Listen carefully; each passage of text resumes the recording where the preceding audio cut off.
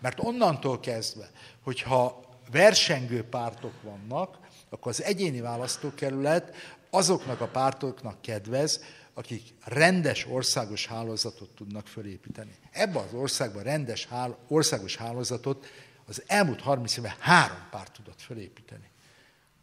Az egyiket úgy hívták, hogy MSMP, majd utána MSP, másikat úgy hívták, hogy MDF. Egy rövid időre, az MDF-nek is, a harmadik a Fidesz.